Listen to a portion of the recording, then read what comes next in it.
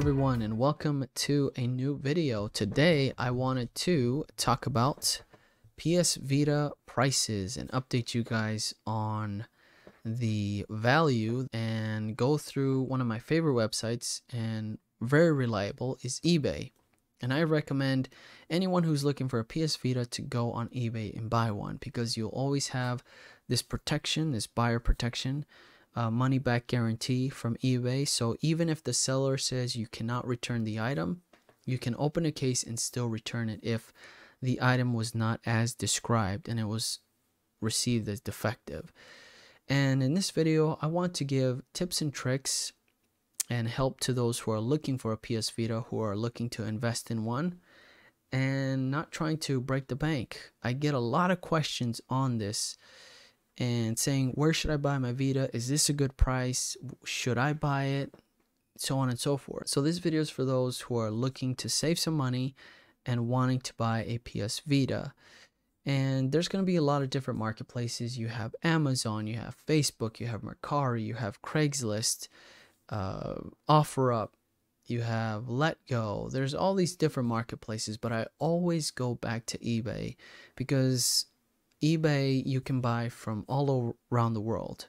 Uh, you can pick up a lot of these PS Vitas for very cheap from Japan, Tokyo, directly from Japan for less than 150 bucks, which is usually the average price for a PS Vita nowadays. I've been looking at the prices here a little bit and they're very reasonable and a lot of them are coming out of Japan. And the one that I purchased, and I'll have a unboxing video on that in the description down below. I bought it from Japan and I didn't have any issues with the seller. It did take a couple weeks to arrive. I know that I'm an eBay seller, that's what I do for a living. Right now, any shipments going to Australia are a guarantee a dud. They're no longer accepting shipments from the USPS to Australia along with shipments to Mexico. So I've been getting a lot of returns through my store uh, with that problem. So you have to double check and make sure that the sellers are able to ship to your location. So let's go ahead and take a look at these prices. And like I said, this is going to be a helpful tips and tricks kind of type of video for those who are looking to buy one at a very good price. And when it comes to the PS Vita, you're going to have two different styles. Actually, three, but we're not going to talk about the third one, which is a PS Vita TV. I'll mention it at the end of this video, but I wouldn't recommend buying one at the moment. So we're just going to focus on the 1000 and 2000, but we will briefly touch on the PS Vita TV at the end of this video. So the PS Vita 1000 and 2000. Now, there's two questions that you're going to have to ask yourself and answer them before you go ahead and start looking uh, the first one is which PS Vita are you looking for? Are you looking for the fat version or the slim version? The 1000 or the 2000? The 1000 with the OLED display or the 2000 with the LCD display, but it does have a micro USB connection, which makes it a lot easier to acquire those cables. The proprietary cable for the PS Vita 1000, they're not that expensive, but it does get annoying if it does break, you're gonna have to go and buy another one because you know it's proprietary. That cable only works for that console and nothing else. So that's the only thing that's kind of annoying about the 1000, which is not that bad actually, because the cables don't go for more than like 10, 15 bucks on Amazon and on eBay. And the second question is, which color are you looking for? That's gonna really play a huge factor in these. For example, the white one is going to be a little bit more expensive than the black one. The black one obviously is more common and it's a lot less cheaper. And there's just a whole bunch of those. Uh, there's just more of those out there. And then you have limited edition ones. And I wouldn't recommend anybody getting a limited edition one unless you have the money and you're interested in looking uh, for one like that. So let's go and search for PS Vita 1000 real quick and I recorded this video like three times because I keep forgetting to zoom in because I keep forgetting that I'm recording on OBS and you guys cannot see the prices and the description and details in this little window that I got going on on Streamlabs OBS. So Your best bet with the PS Vita 1000 is looking for those that are coming from Japan. And those prices are very good. I would hit the buy it now option at the top just to filter out and get rid of all those auctions. Those auctions do get very annoying. And I wouldn't pay more than 150 for a used PS Vita black version. You can get one for a lot less. And we're just going to focus on a black one here. So we got $124 for a crystal black in excellent condition. So let's take a look at this one. This is not too bad of a price. Now the first thing I want to look at is where is this coming from? This is coming from Tokyo, Japan. Usually these low prices are going to be coming from Japan. And he has one more. He sold 59. If you click on this sold, you can see how many he sold within the month. So he sold 3 at a higher price and it he's got it $10 less. So he's I guess he reduced the price and he's trying to get rid of them. And he sold a bunch of them in November. Very nice. And you want to look at their feedback. You want to make sure that they do uh, a good job with their transactions. If you see a 98%, go ahead and check out their feedback. This will bring up their feedback profile. I open this in a new page and you'll see the negative reviews, neutral reviews, and their positive reviews. You always want to go see what the negatives are and, and, see what the, the problems were. So he had one in the past month. The memory card does now does not work and cannot be formatted. My PS Vita 2000 will not recognize the memory card and when you try to format it, so it looks like he was selling a PS Vita 16 gigabyte memory card. So this is this doesn't have nothing to do with the console. Now that we got that out of the way, we can look at the positive feedbacks. And you want to look at this gray text at the bottom. So these are PS Vita 2000s. So here's a positive. I knew there were risks buying a used PS Vita from Japan. When I received the item, it was as described, but I discovered that the right analog stick didn't function. I communicated with the seller, worked out a partial refund, and decided to go the self-repair route. So the, there are a little bit of risks when buying a used one. And if you do buy a used one, just make sure you have a reputable seller because this guy had a problem and he got a partial refund. So that's nice to see that the seller is willing to work with you if a problem were to occur during shipping when you received it. Because things you know things happen during shipping so you can't really control that kind of stuff. And you just have to just stay positive and, and just pray that your ps vita comes into one piece. Here's another good price at 114 this is a really good price. The last one good. He has 98.6% so here's an example of a low kind that to me is kind of low.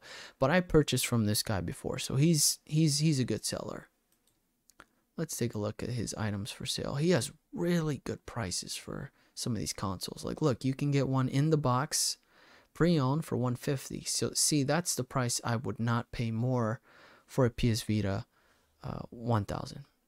He probably has a good price on the. Ooh, he has a blue one for 152. Then he has a 2000 for a 176. Not bad. This seller is very, very good. I'll have a link to his store in the description down below. He has over 7,000 results. Go ahead and check him out. He does a wonderful job. He had four negative feedbacks. Let's take a look at what happened. It took almost two weeks to get a tracking number, and seller said I would get the tracking number within one to 10 days. When I bought my Vita from him, it took about five days to get tracking. And then after that, it took another couple weeks for mine to receive. And that was before COVID. So now with the whole pandemic happening, it can be a lot more much more time to receive it. Who knows? Just make sure to communicate with that seller.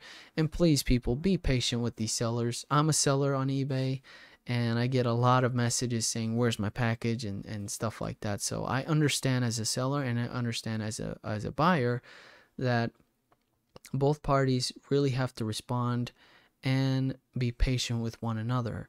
This guy's in japan he's not going to respond within the first few minutes of you sending a message. So you have to be patient on receiving a response within 24 hours. Now, if it takes more than like three days, then there's a problem. You might want to send another email. But usually these guys are on top of it, especially if they're, uh, you know, they got a lot of feedback like this and they're selling over 7,000 items in their store. That's a really good sign. So yeah, 150 for one in the box. Not bad. I wouldn't go this route. That's pretty good for a red one. And this is an ice silver. See, this guy is a is a little expensive. This guy is selling his consoles for 210. And he's here in Hawaii. A little further than usual, but I've seen him sell a lot of consoles. Uh, let's take a look at what he's got for sale. He's 224 of them. This is a good price for this limited limited edition one. Not bad. For an extra 50 bucks, you can get one with the really cool design on the back. But if you're just getting into the homebrew scene, you're getting into the PS Vita scene for the first time, I wouldn't recommend getting a limited edition. Uh, because you might not like the scene, you might not like the console, you might not like the games or the the work that you have to put in to get this all set up. Who knows? I don't know. But I wouldn't invest in one just yet. But if you're into that kind of stuff, go go right ahead. I'm not stopping you, but I'm just saying for those who are looking to save money and getting into it for the very first time. Look at this. We have a 2000 pink for 230. That's pretty expensive. Wow, he has the Gundam limited edition for 220 pre-owned. He sold 7 of them. Let's get out of here and go back to our original results. And if we want to buy a white one, it's going to be a little bit more. You have 169. We have 200. The black ones are more common. This one's not bad, but this doesn't come with the box, right? See, this one's really good. Look at that. One 137 for a box console, white one. Lucky 8 Trading. I've seen this guy before. He sold over 247 and a 96.2%. That's not so good. He's from Tokyo, Japan. Usually the description I not too I don't really go into the description. I usually take a look at the pictures and then I look at their feedback. The pictures is a a good way to understand what you're going to be receiving, you know? And usually the descriptions are going to be the same old, same old. Like this one is just use product image for illustration purposes only. All products are purchased in Japan. Wow, look at this PSP 1000. Oof, oof, 100 bucks. All right, we'll save that video for another time. we'll save PSPs for another video. I'm sorry if I sound a little different. I'm losing my voice. Here's Lucky Trading for 115 bucks for the console only and you probably won't receive a charger but if you go like this actually let me do 1000 because that's a more you got to be more specific because it's a proprietary cable so you can get one for 10 bucks you'll save a lot more money you know you can buy these both at the same time they'll probably you'll receive them in the same week and you're all set you can save a lot of money if you don't buy if you don't buy into those bundles that you know you get your SD card and stuff like that. Here's a, here's a good example. So Hawaii over here. Let's take a look at Hawaii. Here's a really good example. So Hawaii, $200. Okay? So 200 bucks you get the console and the charger. Fat OLED. That to me is just too expensive, man. That's way too much. Let's go micro SD card. Five one twenty. Let's go one twenty eight. One twenty eight. You can get one for ten bucks, and you always want to go with either SanDisk or Samsung. Don't go with any other brand. I wouldn't do any other like this crap. Don't ever try to buy. I'm going to talk about that in another video too. But you see, you can buy one for, let's take a look here 128. You can buy one for 20 bucks. That's kind of expensive actually. Let's check out Amazon. Amazon 128 gigabyte micro SD card.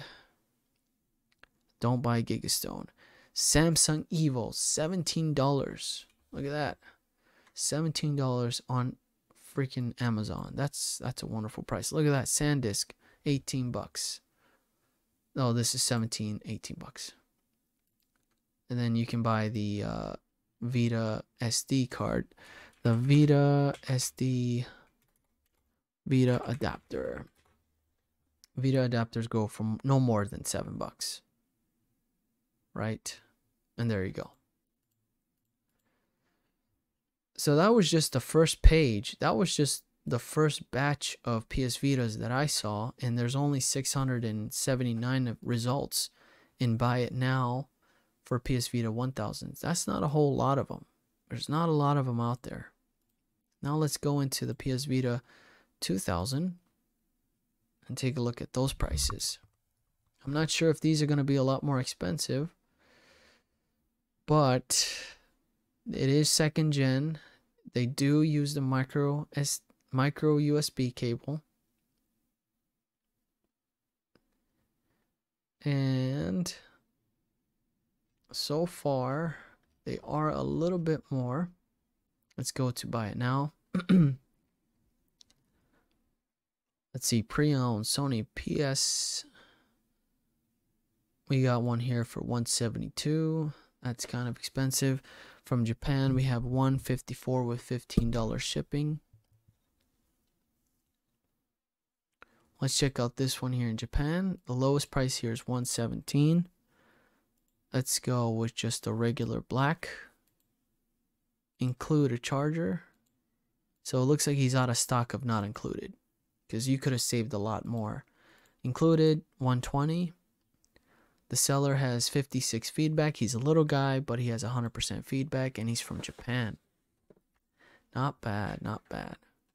Let's go in Glacier White. The Glacier White's really nice. Really, really nice. But always make sure to look at the pictures for quality, obviously. They're going to be using it most of the time if they have quantities, they're going to be using that one picture to illustrate the rest of them. But the other ones might have scratches that you don't see on this original picture. So just be on the lookout for that.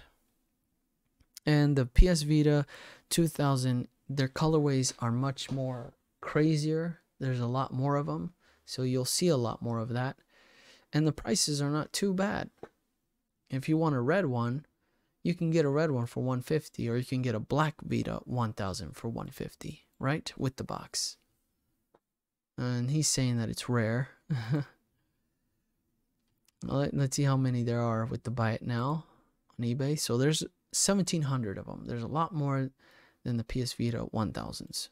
And I believe one day that the 1000s are going to get more rare as time goes on because there's just less of them out there. In the the 2000s, there's just so much, so many of them, so many different colorways, so many styles. Uh, when of limited edition ones too. Here's a lime green one for 122. This probably doesn't have a charger, and this is Lucky 8 Trading, the same seller that we've been seeing over and over again.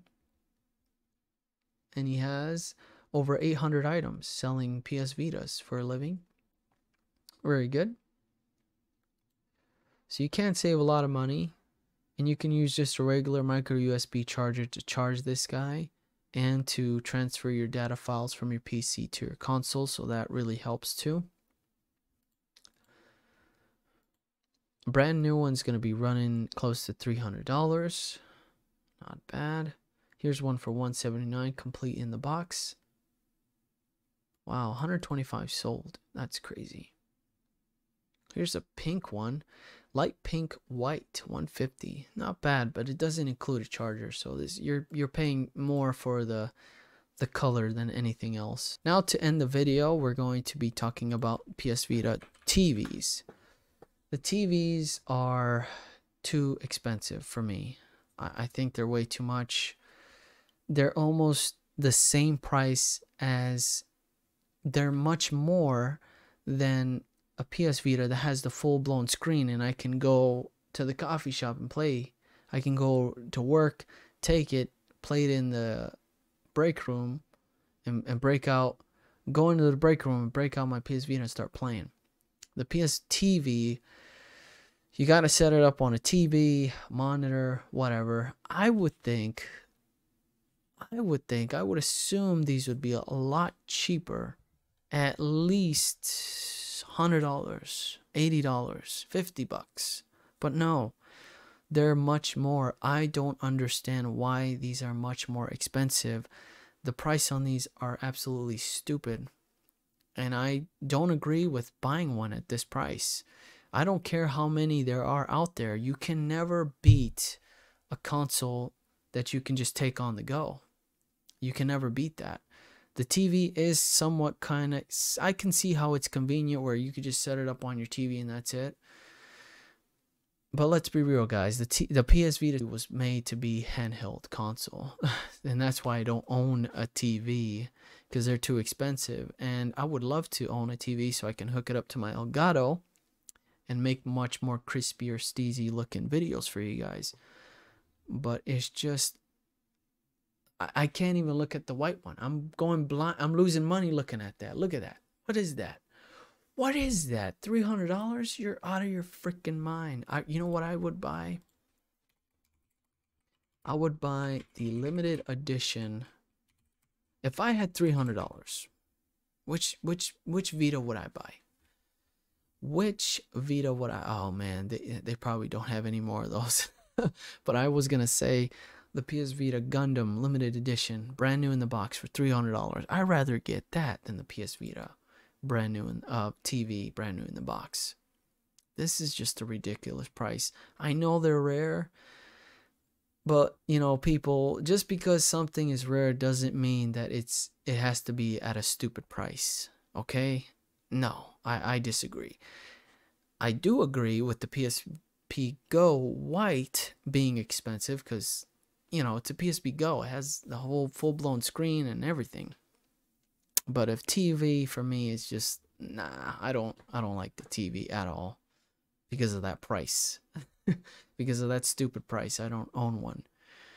And I refuse to talk about it on the channel. I refuse to uh, own one at that price.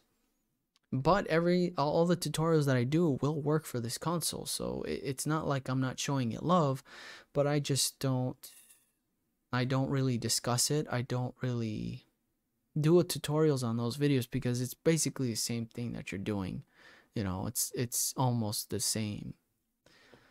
But the prices are too much. I, I can't handle the price, so we're done. Now to recap and review with the PS Vitas, make sure to not pay over $200. You shouldn't have to pay more than 150 for a nice decent console. You can buy one for less than 130 almost in a very good condition from Japan. And you also have to consider in buying um, them without a bundle. The less stuff that's included, the less it's going to be. We've seen that. The more stuff that's added, you're obviously going to be paying a lot more for the stuff that's included or for the colorway. And you have to consider which one are you going to pick, the 1000 or 2000. I personally would recommend you guys to go for the 1000 because those are going to be they're going to be gone very soon. They're going to be gone within the next five, ten years. There's going to be no more of those because there's they're they're less and less every single year. So make sure to jump on that before the prices go really stupid, and jump on the 2000 before those prices get even more stupider. Uh, right now, there's a whole bunch of them, so the prices are are pretty stable, pretty good. Don't get a PS Vita TV. Don't do it. Just save yourself the money. Don't do it. Because you can hook up your PS Vita console to your uh, PC, no problem. And I have proven that in a video. Also, make sure that the seller that you're looking at has reputable feedback, they ship on time, they're willing to work with you, and make sure they have the 30 day free returns. If you see one that has no returns, please avoid that. You might be looking at a broken console. So don't ever look at a, at a listing that says no returns because that's going to be a headache, a nightmare. Don't do it. Make sure you, you see a nice seller that has a bunch of them in their store, has good feedback, and that the console is at a very good price. So just make sure that you're not doing it, overdoing it with that. So that is it. I hope this was somewhat of help for some of you who are getting into the homebrew scene, getting wanting to get into the PS Vita scene. Uh, there you go. Uh, and hopefully we'll make another video and update you guys on prices and things like that and how the marketplace is within the next few months. I'm hoping to do it again mid-year. So we'll do one at the beginning of the year mid-year and at the end of the year. So be on the lookout for that. We're going to also be talking about other handheld consoles like the psp we're going to be looking at the 2ds xl which the prices have gone up like crazy. So that's going to be in my next video. Uh, we're going to be looking at switches. We're going to be looking at all sorts of different things and try to help you guys out and give you tips and tricks on how to purchase this stuff at a reasonable price and not get screwed over. And that way every dollar that you have is going to be stretched out and used up in a very good way. And that way you're saving a lot more. So thank you guys. I really appreciate you watching. I apologize for the way i sound. I lost my voice here. I've been streaming a lot. And i recorded this video like four times because i keep screwing it up. I keep uh, forgetting to zoom into the into the details of the listings on ebay. So I apologize. Thank you so much for watching. Take care, guys, and I'll see you on the next one.